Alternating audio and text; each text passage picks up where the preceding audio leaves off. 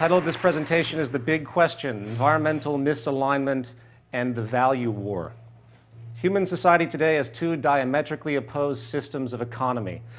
One is our traditionally imposed mode of monetary market economics. The other is a physical rule structure emerging from our growing scientific recognition of reality, both environmentally and sociologically. The consequence is an ever increasing level of social destabilization and an ongoing decline in public health. I've divided this into two brief sections. The first part is called System Clash Market Efficiency versus Technical Efficiency. To part two, Value Wars Societal Potential Collapse and Transition, what we're capable of doing, what's in store for us if we don't, how we can get out of this system, etc. Before we begin, part one Economy. What is economy? It's defined in Greek as the management of a household, a definition that's often lost. To economize, what does that mean? It means to increase efficiency. Keep that in mind. Reducing waste. That's what an economy is supposed to be. Defining my terms. We're going to use two terms throughout this presentation. The first is a theoretical notion of an earth economy, which I'll define as decisions made directly based upon scientific understandings as they relate to optimized habitat management and human health. Production and distribution is regulated by the most technically efficient and sustainable approaches known.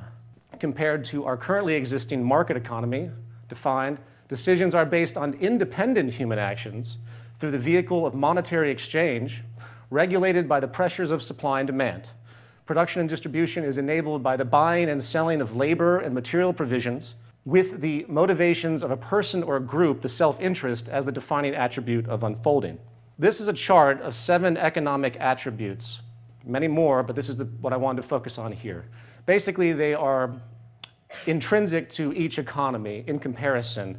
Obviously, I'm focusing on the market economy and its relationship to a natural system, what we're calling the earth economy. The only caveat here with these asterisks are elements of our sociological development based on scientific integrity, scientific ingenuity, the evolution of science and our knowledge of ourselves and the environment. That will be talked about as we go along, as we touch upon each one of these. First point, consumption. In a market economy, the entire thing is based on consumption. The only reason that you're wearing clothes, the only reason you're eating, the only reason that you have a home is because someone somewhere is buying a service or getting a service, exchanging money in some form, and consuming. That's what this system is. What does the natural world have to say about that? What does an earth economy have to say? Well, in all reason, the earth is a finite closed system. Preservation, not consumption, should be the ethos. If you lived on an island with a small group of people and you had a finite amount of resources with a natural generation of growth, a very simplified society, would you decide to make an economic system that tried to use that up as fast as possible? No, and I'm, I'm afraid the Earth is, is an isolated island in a vast sea, uh, cosmic sea, if you will, and is a lot smaller than we think. Point two, obsolescence. The market system is driven explicitly by obsolescence. Two, intrinsic obsolescence. Intrinsic obsolescence being the use of cost efficiency, meaning that every good produced has to be inferior the moment it's made because the corporate institutions must save money at the very beginning of production to remain competitive against everyone else that's competing. Planned obsolescence, which is much more insidious, which is basically a form of fraud, even though it's completely codified and formalized as a marketing tactic, basically designs goods to break down under the assumption of repeat purchases. And uh, it's truly amazing that this exists at all. And what does nature have to say about this? Well, building upon what we've just stated, it's environmentally irresponsible to design goods to fail or allow them to fail unnecessarily. That is basically uh, offensive. We need optimum design to have things last, survive. Point three, property. The ownership metaphysic is a core premise allowing controlled restriction of resources and goods. I say metaphysic because property isn't real. There's no such thing of ownership in the broad scheme, not either intellectual or physical goods. It's all transient. The idea of everyone owning one of everything, for example, does that make a lot of sense when we think about our natural economy? What about the use of goods? What about access? The natural environment demands access. Universal property is inefficient. Strategic access is more environmentally responsible as a model and more socially efficient.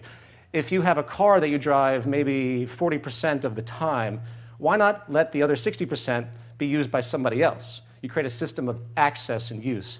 That's environmentally responsible. Point four, growth. Building on consumption once again. The market economy requires near constant growth to maintain employment. This ties in a little bit with the growth of uh, population as well. But you always hear about this in you know, the government. We have growth, we need more growth, the GDP, we're lacking growth. Uh, it's basically just absurd. Uh, we need a steady state economy. The Earth is a finite system once again. Earth demands a balanced load economy, respecting dynamic equilibrium, where things come together in balance, not the, the necessity to exhaust just to, say, maintain labor. Point five, competition. This inches into our new sociological developments that aren't talked about enough. Market system economy based upon personal and corporate competition in the open market, selling your labor, competing for market share.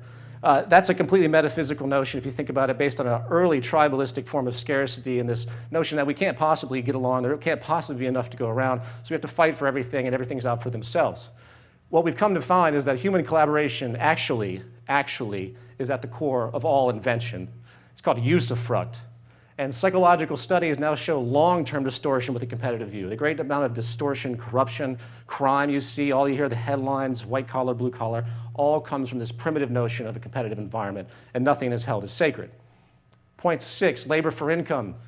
Human survival is today contingent upon one's ability to obtain employment and enable sales. That's your right to life. If you can't get labor, you might as well die because you don't serve a economically efficient role. What does this mean to our development in science and technology? Mechanization is incredible. The advent of automation is making human employment more scarce at a minimum and possibly obsolete entirely. Mechanization is also more productive and efficient than human labor, which means it's socially irresponsible for us not to mechanize and enjoy the fruits of the abundance and ease and safety it can create. Scarcity and imbalance. Contrary to uh, what most think, money and the movement of money that generates consumption economy is explicitly based on imbalance and inefficiency. It's really an inefficiency economy, an anti-economy. The poverty you see, everything in the disimbalance, that's not just some byproduct or a result of some greed institution or something like that. That is inherent to the system. The system wouldn't work if it was efficient and there was a balance in any element of human survival. Why would we want that? Abundance, equality, New sociological studies have found that equality is much more positive to public health. You compare the United States, a highly stratified society with deep imbalance, to Norway and Sweden that have much less levels of stratification. The public health in those less stratified societies blow us out of the water.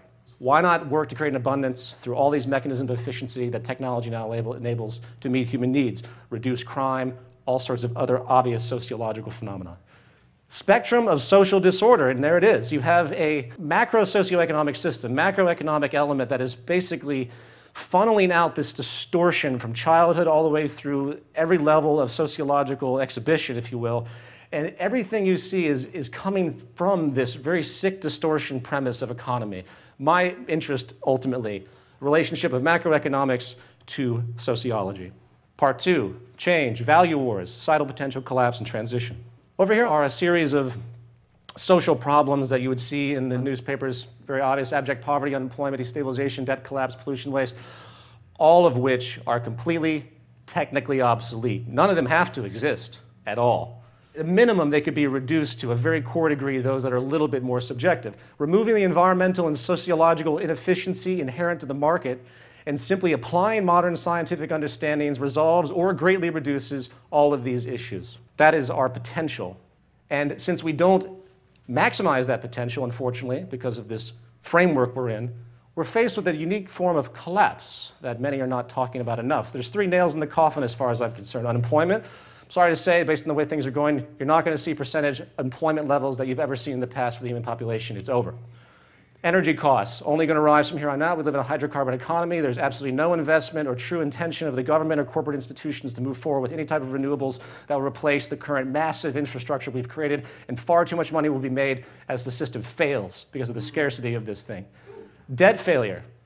Is, am I the only one laughing at the fact that there's this fictional notion of debt that's like dominoes knocking down countries one by one? Transition. Here's the value war. Of all the times I speak with people about these issues, they tend to understand it, but they have these value associations that hold on to old artifacts of the prior system. It's a value war. How do we get from one to the other? What can we do to inspire change and create social reform? And that is the big question. What will you do? What kind of forum, what kind of social awareness, what kind of role do you think you could play? Are you going to maximize your own self interest, or are you going to realize that your self interest is only as good as the integrity of society as a whole, where self interest must become social interest in order for us to survive? That is the new equation, and that is the big question. Thank you very much. capable of doing, what's in store for us if we don't, how we can get out of this system, etc. Before we begin, part one, economy. What is economy? It's defined in Greek as the management of a household, a definition that's often lost. To economize, what does that mean? It means to increase efficiency. Keep that in mind, reducing war. Human society today has two diametrically opposed systems of economy. One is our traditionally imposed mode of monetary market economics. The other is a physical rule structure emerging from our growing scientific recognition of reality, both environmentally and sociologically. The consequence waste, that's what an economy is supposed to be. Defining my terms, we're going to use two terms throughout this presentation. The first is a theoretical notion of an earth economy, which I'll define as decisions made directly based upon scientific understandings as they relate to optimized habitat management and human health.